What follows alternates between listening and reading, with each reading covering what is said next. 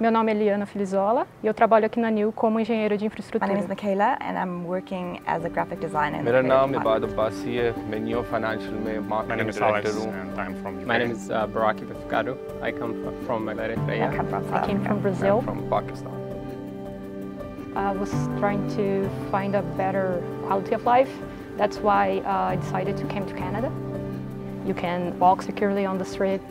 It gives you like peace of mind. It's, it's amazing. You have to be here to understand how it is.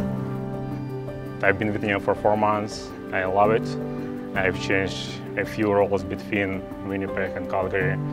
The company is young and fast growing company. If you are willing to work hard, you will definitely find a good place here. When Neo offered me a job, I think the biggest thing was the way everyone helped me in settling here as well, which made the entire transition very easy. Canada are just a melting pot for a lot of cultures. Working in Canada shows you that you can learn from world-class talent. And Canada was not like on the list for me to move. It turned out to be great. There's a lot of neighborly relationships. So here you walk everywhere, you interact with people more. It was the best move I've ever made.